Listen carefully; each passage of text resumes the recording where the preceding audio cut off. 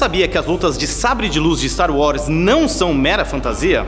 Elas são baseadas no Kendo, uma arte marcial milenar, inspirada na luta entre samurais. Para mostrar um pouquinho disso, a gente veio ter uma aula com o professor Edson, da Academia Seibukan. Tô preocupada, é muito difícil? Vocês vão sofrer um pouquinho na minha mão. então vamos começar? Vamos, vamos lá. lá. O pé direito ele é posicionado para frente e o pé esquerdo posicionado para trás. Para segurar o Shinai, você tem que é, segurar firmemente com os três dedos é, tanto na mão esquerda quanto na mão direita, para poder é, ter mobilidade do Shinai.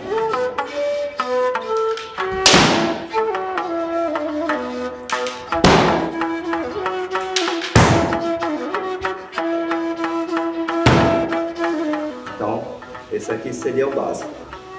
Bem, bom. Um, dois. Bom.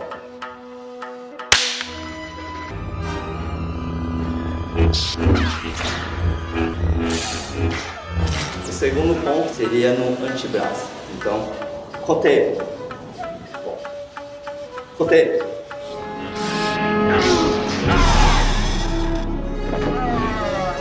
O terceiro ponto seria do, que seria na parte da barriga. Então, do.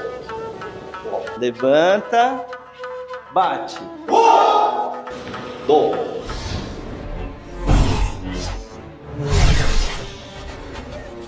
O último ponto seria esqui, que seria na altura da garganta, né?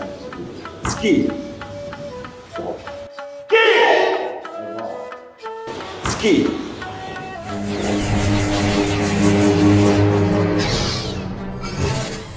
Konkyo, guarda o shinai na altura da cintura, levanta, reverência para frente, aí agora reverência para o shinzen. Aí daí.